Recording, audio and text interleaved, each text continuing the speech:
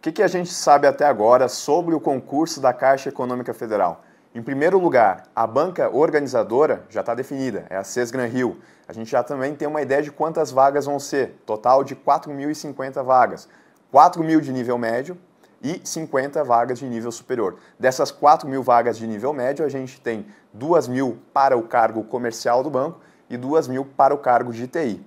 Além disso, a gente já tem a previsão do edital, porque recentemente a Caixa Econômica ela confirmou que o edital do concurso da Caixa vai ser publicado ainda no mês de fevereiro. Então, a hora de estudar é agora.